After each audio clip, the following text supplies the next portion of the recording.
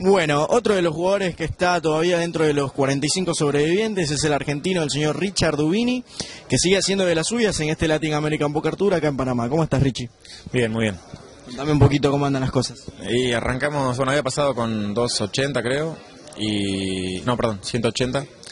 Y nada, tuve, tuve un día en su vida, llegué hasta 340, eh, hice un buen giro call y después en pasos chicos, eh, me ha ido bien. Hasta que bueno, tuve una mano hace el nivel anterior con, con Leiva, con Charlie, que está chiplir seguramente.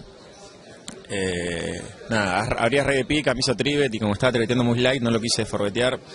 La cuestión es que terminé metiendo dobles con J8 y yo metí as como topper y desfilé, me sacó como ciento y pico. Así que ahora estamos con 180, 190, que es el average. Pero tranqui. estuviste, en un- estuviste en una mesa, todavía sigues en una mes- de las mesas más complicadas, no solo con Leiva, eh, está el canadiense Licuar, que está jugando muy bien, estuvo hace un tiempo a Martín Avala, el que le hiciste el giro call con las damas, fue muy loco, porque él tenía rey dama y vos con Ajay pagaste, Eh, fue una tremenda mano, explícanos qué te llevó a llevar esa línea. Sí, la mano él abre de eh, Kutov y yo en Small tengo más dama de trébol. Eh, hago trivet por 3, pues 3.5. Eh, hace call y vuela creo que 4-10.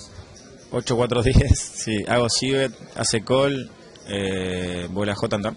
Sí, un brick. Sí, un brick and turn y nada, hago, hago bet. Eh, metí un sizing un poco más grande que el flop obviamente, pero, pero chico. Hizo call y al river cierra una escalera con eh, 9-10 creo. Y eh, nada, decido hacer. Chequeaste, Sí, apostó check. 47. Apostó muy grande eh, y bueno, no, creo que no va a apostar eh, ningún par tipo 9 eh, o 10 en ese caso. ¿Blef o escalera? Exactamente, sí, se polarizó, así que bueno. Lo que complicaba es que se me rompía el stack al medio porque yo estaba muy bien, pero eran casi eh, más de. un poquito menos de la mitad de mis fichas. Y bueno, nada, eh, tanqué un rato y lo metimos huevo. acostumbrados a fil duros, a torneos de gran envergadura. ¿Se sueña con uno de estos? Vamos a tocarlo, ¿es este o la que.? Ese es el del high roller. Vamos a tocarlo entonces. Sí, sí, siempre sueño con, con uno de esos. Es más, el high roller que yo gano no me dieron ese trofeo, me dieron el otro, así que no lo tengo en mi casa todavía.